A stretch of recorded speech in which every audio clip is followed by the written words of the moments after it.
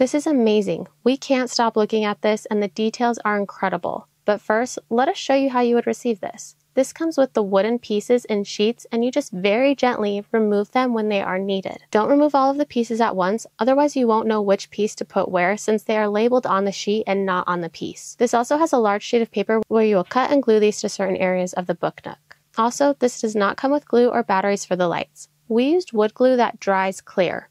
With the wood glue that dries clear at the end of this, I added extra glue throughout the book nook to ensure that even if this was knocked over, it wouldn't have any of the pieces fall out of place. It also made it so that if we had any spillage of glue, it wasn't noticeable once it dried. This takes a lot of time. I think we spent at least five hours on this, and it was mostly my 10 year old and I who worked on it. In fact, we started putting this together, had to leave, and I didn't start this again until the next day. But my 10 year old, who loves to build and put things together, had many of these pieces set up before I even knew he had started building this again. So that shows how simple some of the process is to set this up. And I say some because there were times that I even had to study the instructions to understand how to put this together. The details of these pieces are incredible. Even the tiniest of books have wording on the outside, and even a music book has music notes on the inside. There was so much thought put into each detail of this that it feels so realistic as we look at it completed. This requires two AA batteries for the lights.